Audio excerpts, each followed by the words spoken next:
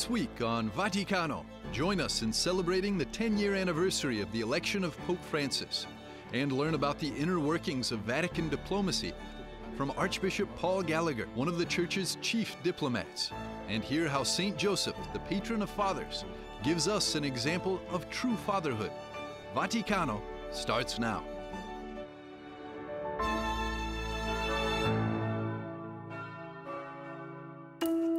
On Monday, March the 13th, 10 years after the start of Pope Francis's pontificate, a new book by Father Antonio Spadaro was published, The Atlas of Francis Vatican and International Politics.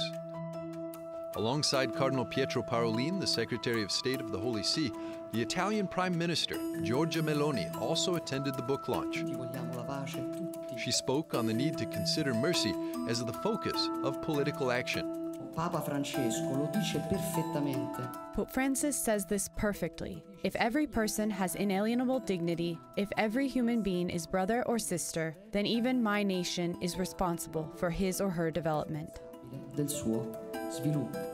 In a world traversed by so called world war in pieces and dominated by apocalyptic perspectives, Cardinal Parolin stressed the importance of the role of diplomacy. At a time when the pieces of World War III are welding together, there is a need to be more aware that diplomacy can only be effective when it succeeds in being an instrument of service to the cause of mankind and not simply to the service of national interests. E non semplicemente a servizio degli interessi nazionali. Exactly 10 years after the election of Jorge Mario Bergoglio, Father Antonio Spadaro examined the Holy Father's geopolitical approach from several perspectives. Firstly, his extraordinary vision, charting Pope Francis's action through his apostolic journeys, synodal events, and the Holy See's international policy. The thesis is ultimately one that the pontiff today, in a puzzle world, is perhaps the only moral leader figure of global impact.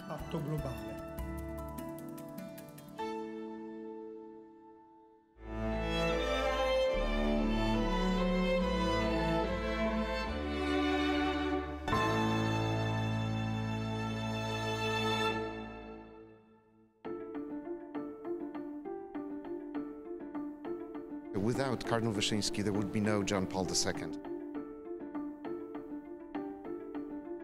On March the 9th, at the Basilica of St. Peter in Chains in Rome, there was a special event honoring Blessed Cardinal Stefan Wyszynski, the former primate of Poland.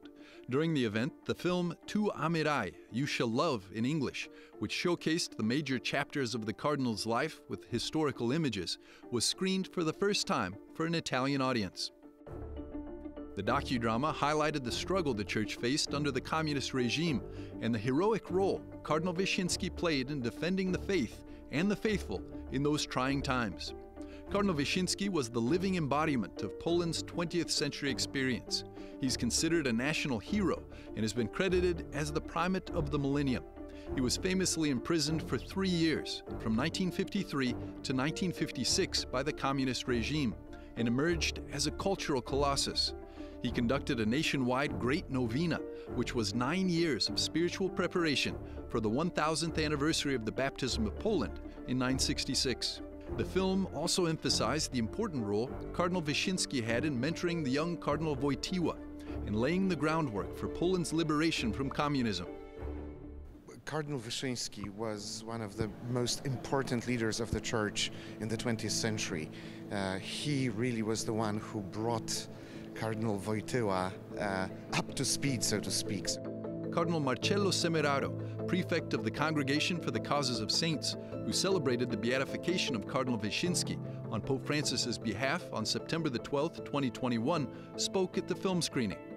Also in attendance was Polish ambassador to the Holy See, Adam Kwiatkowski, and president of the Polish Bishops' Conference, Archbishop Stanisław Gądecki documentary uh, has been now watched by millions of people in several languages all over the world, and it's extremely important. And I'm very happy that it finally is translated into Italian, and the Italian audience will uh, have the chance to learn about the great Prince of the Church, Cardinal, Blessed Cardinal Wyszynski.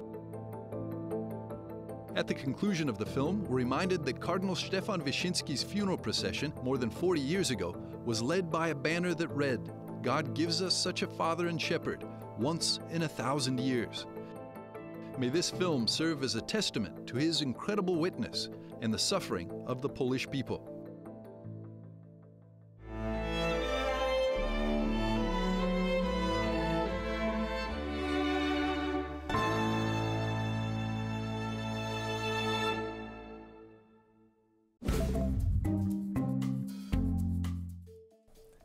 Hello, and welcome to this week's Vaticano Updates, the most important news from Pope Francis and the Vatican.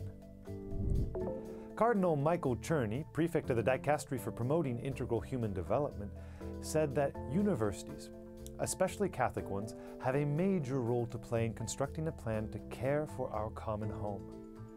Noting that Catholics are called to celebrate nature as an expression of the love of a personal God who brought the universe into being Czerny called for universities to provide a concrete, visionary, and courageous response to the problem of environmental destruction. Pope Francis marked his 10th anniversary as Pope with a private Mass with cardinals and an appearance on what Vatican News has dubbed a Popecast.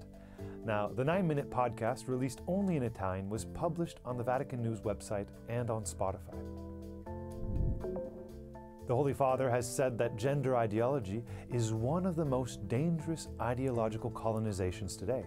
In an interview with Argentine daily newspaper La Nacion, Pope Francis explained the reasoning behind his strong statement. Why is it dangerous? The Holy Father said. Because it blurs differences and the value of men and women. Pope Francis has called Nicaragua's president Daniel Ortega unstable and likened the Sandinista government to Nazi Germany in an interview. Now, speaking on Nicaragua's Bishop Rolando Alvarez, who was sentenced to 26 years in prison by Ortega's dictatorship last month, Pope Francis said, It is something out of line with reality. It is as if we're bringing back the communist dictatorship of 1917 or the Hitler di- dictatorship of 1935. Now, St. Peter's Basilica now hosts an hour of Eucharistic adoration on its front portico once a month. Now, beginning on March 14th, adoration will take place every second Tuesday from 8 p.m. to 9 p.m. on the parvis in front of the Vatican Basilica leading to St. Peter's Square. Now, the Holy Hour is part of the pastoral initiatives of the Basilica. Thank you for watching this week's Vaticano Updates. My name is Benjamin Crockett for EWTN Vaticano.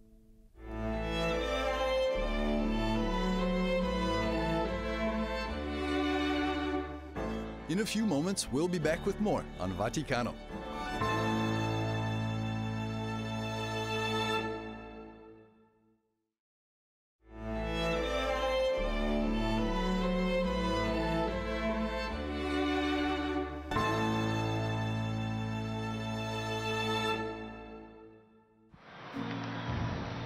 Annuncio vobis gaudium magnum, habemus papam.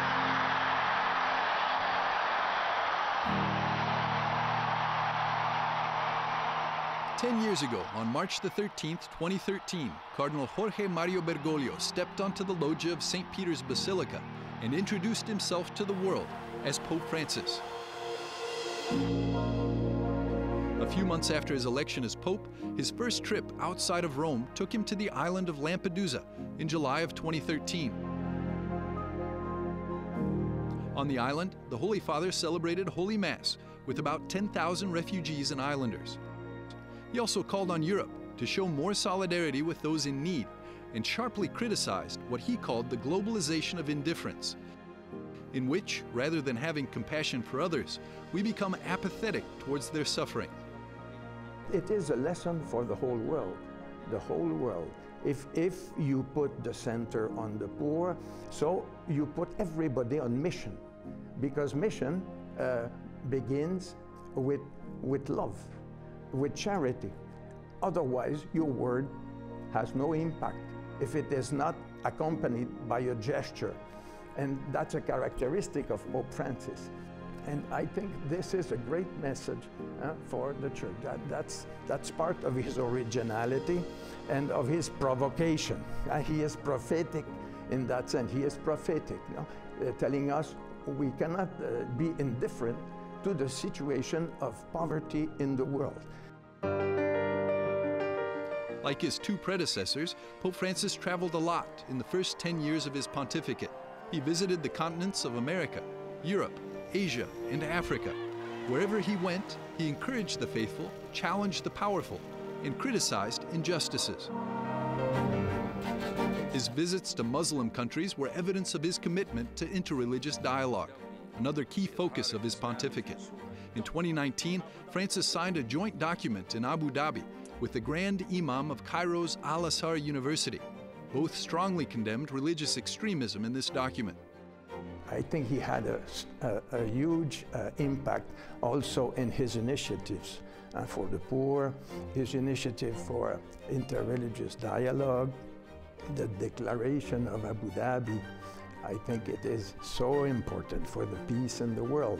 You know, it is not easy to deal with the uh, Muslim, uh, uh, the Islamic community. Uh, so it is, it is difficult, and uh, there is a real need of encounter, of uh, better understanding, of dialogue in, in, in, a word, you know. And so he has been doing many efforts in that direction.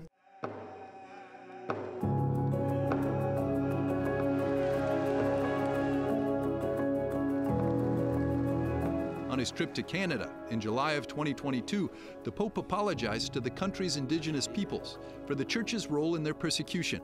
The abuse crisis within the Church has been another major challenge of the past 10 years. Pope Francis has not only worked towards reform in this area, but he's also brought about reform in the Curia and is currently working to integrate the principle of synodality in the Church. I think in the legacy of Pope Francis, uh, synodality will probably remain uh, um, uh, as the, the most important of his contribution. Uh, so, you know, um, uh, the Catholic Church, I would say, is very clerical. Uh, it's very uh, grounded on the ordained ministry. That's at the center of the attention, the bishops, the priests. So, but we lack awareness of the priesthood of the baptized. I think synodality is a key uh, factor for the future.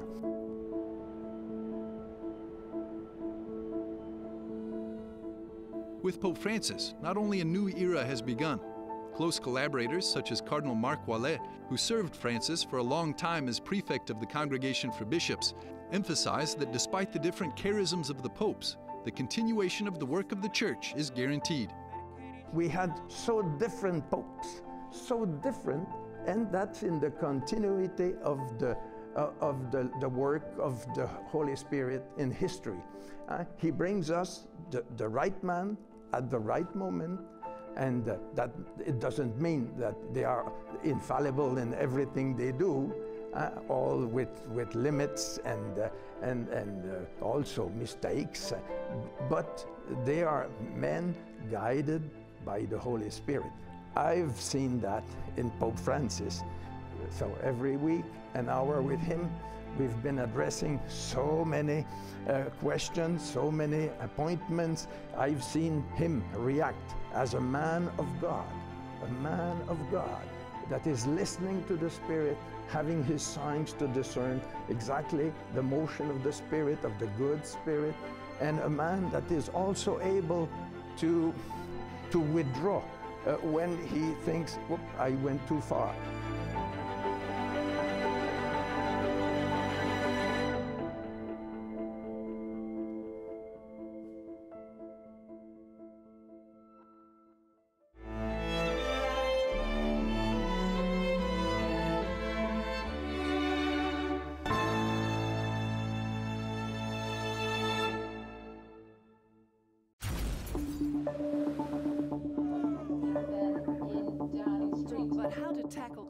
Up any newspaper or turn on any television, and you're bound to see some breaking headline from the world stage.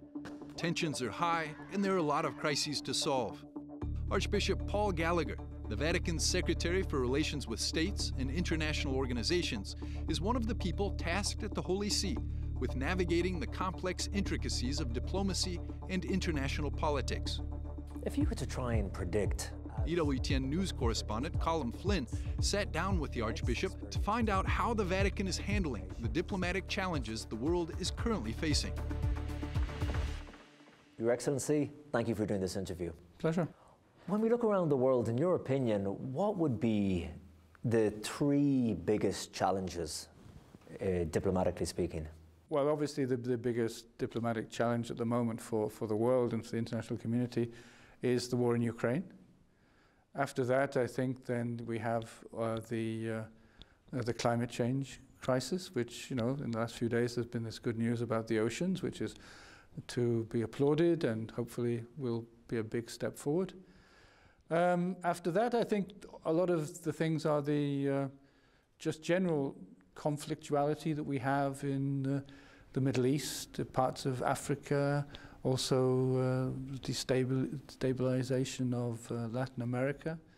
Uh, these are these are the things that I think that are facing the international community at this time. When you went to Ukraine, what are your memories of that experience? Well, my memories of Ukraine, I was very lucky when I went because uh, although that they'd had uh, a lot of um, shelling and bombardment, I went, it was relatively peaceful. We were able to see the effects of uh, the Russian aggression on Bucha, Irpin, and also parts of Kiev. Um, I think the lasting uh, impression I got was uh, of a people who were very, being very courageous, very determined uh, in front of enormous challenges, and things have got much worse since I was there. Um, but also um, a country that was bracing itself for what I think they all perceived was going to be a very long and drawn out conflict.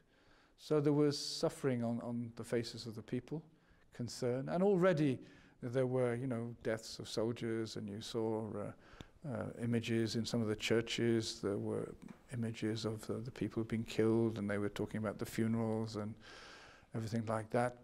Recently, with Pope Francis's 40th apostolic trip to the continent of Africa, when he went to South Sudan and the Democratic Republic of Congo, we saw Vatican diplomacy uh, on show there as well. And while the Pope was there, the president of South Sudan announced that he would resume peace talks with the country's rebel groups. Mm. Did the Vatican play a role in, in that announcement? Well, most, most of the uh, credit, I think, uh, for that needs to go to the community of Sant'Egidio, who have been uh, having this uh, Rome initiative for a number of uh, years, I think, uh, with the non-signatories to the revitalized peace agreement. Um, and obviously, President Salva Kiir uh, believed that the visit of the Holy Father and the Archbishop of Canterbury and the moderator of the Church of Scotland required some response, some concrete gesture on his part, and therefore, seeing there was there was pressure, uh, he, he, he would prepare, was said, well, we, will come back to the negotiating table with the, uh, with the, the opposition. Um, we've supported that, that process. Uh, Sant'Egidio and, uh, and Dr. Paolo Impagliazzo have always kept us informed. We've had occasional meetings here with some of these uh, leaders who haven't signed onto the agreement yet. Archbishop, you have pushed back at the EU level against a movement to label abortion as a human right. Can you talk to me a bit about the challenge for the Holy See when it comes to this movement to label abortion as part of human rights? Well, we, we, we uh, are simply maintaining the, um, the position of the Catholic Church doctrinally and morally on the question of abortion. And we continue to, to repeat that and make it present uh, to our people uh, to governments that are, that are uh, sponsoring that. It's also in, in, in a, part, a part of the, the, the church's desire to make uh, human life a very center of what po political society should be doing. We always say that the center of human rights is the human person, the dignity of the human person. Archbishop Paul Gallagher, it's been lovely talking to you and thank you for your time. Thank you very much. God bless.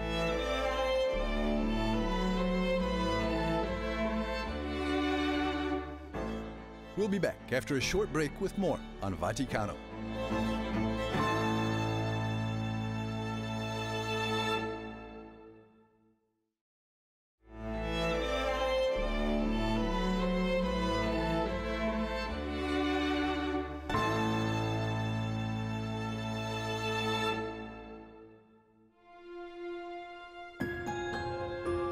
Padre, non si nasce, lo si diventa.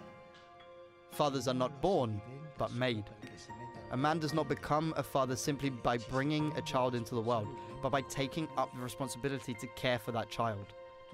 Whenever a man accepts responsibility for the life of another, in some way he becomes father to that person. Esercita la paternità nei suoi confronti.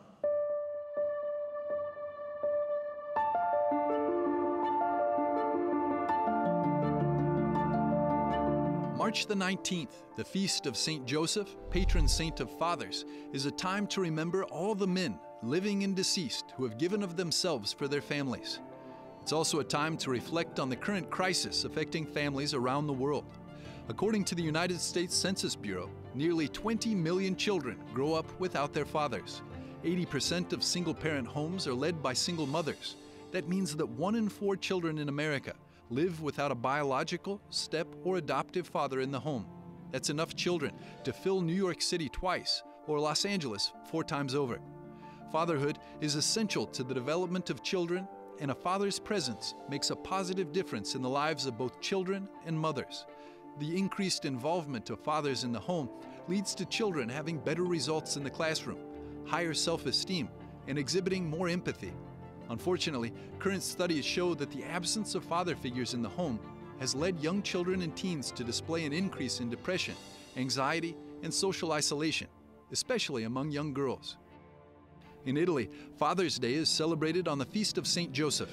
In order to better understand the current crisis in families today and what men in particular can learn from St. Joseph's example, we spoke with Monsignor Pietro Bongiovanni, priest of the sanctuary of San Salvatore in Lauro, in the heart of Rome, who has counseled countless couples in the preparation for marriage.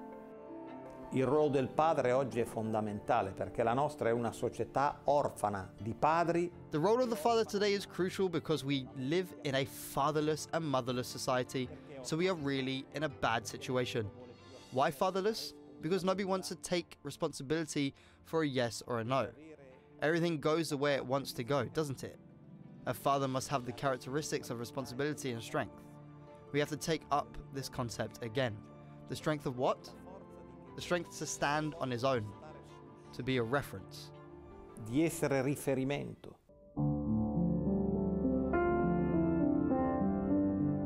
From the schoolyard to the workplace, boys and men have had to adapt to the changing social landscape and expectations of the modern world. Because of these challenges, and the fact that so many men are falling behind in education, in the job market, and other indicators of social well being, many in the media have begun proclaiming that society is facing a crisis in masculinity.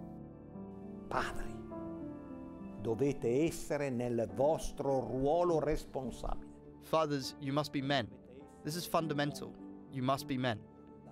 The end and bottom of it all. Responsible. On the role of motherhood, mothers should be the image of tenderness. Everyone thinks of their own.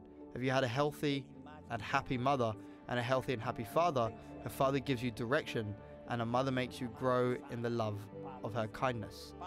When you combine these two elements, you feel safe as a child and you grow and grow well.